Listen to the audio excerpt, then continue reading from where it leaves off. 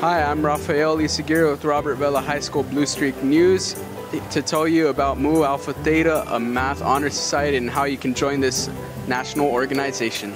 Mu Alpha Theta is a math honor society uh, focused on community service and mathematics, primarily tutoring students to help up their math problems. Well, we help out with, like I said before, the um, with uh, tutorings in math, and we just like help promote the math in the community. Why did you join Mu Alpha Theta? Well, I always enjoyed math like throughout my life, so in an organization that uh, promotes the math, like I had to join it. To find out more about how you can join Mu Alpha Theta, stop by room 205 and speak to the sponsor, Mr. Gonzalez.